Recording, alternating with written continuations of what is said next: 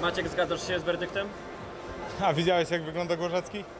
Powiedzcie mi, widzieliście jak wygląda Głorzecki? Głorzecki, wszystko, wszystko widać. Boks zawodowy polega na wyniszczaniu się, na mocnych ciosach, na bliskości knokautu, a nie na jakimś drapaniu, co on 10 lat temu to samo robił i 20 lat temu i będzie robił to za 5 lat i nic z tym nie wygra. Mam nadzieję, mówię, że Bukmacher to widział i odda mi moje 2000.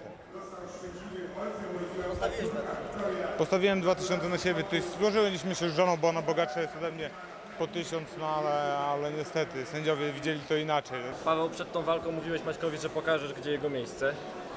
I w ringu to nie do końca tak wyglądało, chyba jak chciałeś. No myślałem, że uda mi się skończyć tą walkę przed czasem, jednak no Maciek e, widać solidnie się przygotował. E, Dla mnie, dla mnie, dla mnie może zabrakło jakichś tam tygodnia czy dwóch e, treningów, jakichś tam wytrzymałościowych, siłowych, bo momentami brakowało sił.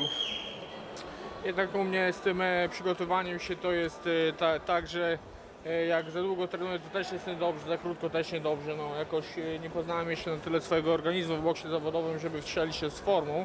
Cała ósma runda to była klinczowanie Głaza Głażewskiego. No, widzieliście wszyscy całą ósmą rundę, taką rundę się punktuje 10-8, bo to, bo to runda jest do jednej bramki. On tam zrobił dwa zrywy i, cał, i całą rundę wartu, walczył o przetrwanie. To jest runda 10-8. Skąd ta punktacja jednego sędziego, to, to nie mnie pytajcie, no ale jesteśmy przecież na gali Tomka Babilonskiego, koszula bliższa sercu, Tomek promował Pawła całą karierę, no i, i trzeba to zrozumieć. Nie jestem do końca zadowolony z walki, bo myślałem, że uda mi się wygrać tą walkę przed czasem.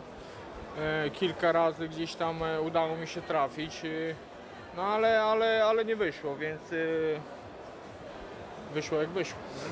Wszyscy mi mówią, że jestem wyrobnikiem, że ja nie mam talentu, tylko ciężko pracuję, ale posłuchajcie mnie szczerze, ja podpisałem zawodowy kontrakt 5 lat temu. Dwa lata przeleżałem w szpitalu, bo miałem 7 operacji, czyli trenuję, z tego wynika 3 lata boks. Paweł trenuje tych, e, ten boks 20 lat i widzieliście, że ta różnica, nawet jeśli sędziowie się nie mylili, chociaż się mylili, to, to, to było jeden remis, jeden jednym punktem, jeden tam dwoma chyba punktami.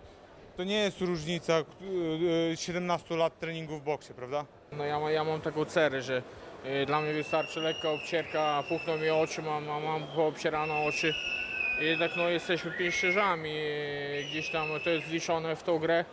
Ja lubię, lu, lu, lubię tą grę i jeszcze troszeczkę mam nadzieję, że teraz z nowym trenerem Piotrem Jankowskim e, pokażemy troszeczkę innego boksu. No, nie była moja najlepsza walka, bo, bo za mało było ciosów na dół, bo, bo czasem się ponosiłem emocją zamiast konsekwencje step by step do przodu, lekkie kroczki i, i go męczyć, męczyć, nie dawać mu tyle odpoczywać, to on by wyszedł, bo widziałem, że chwilami naprawdę miał dość i, i mogłem go złapać w szóstej, nie w ósmej rundzie i wtedy by było wszystko jadne. Jego, jego jednym wielkim plusem, jaki miał, to był jego trener Fiodor Łapin i to tyle, bo bez tego trenera e, Maciek by przegrał tą walkę sromotnie.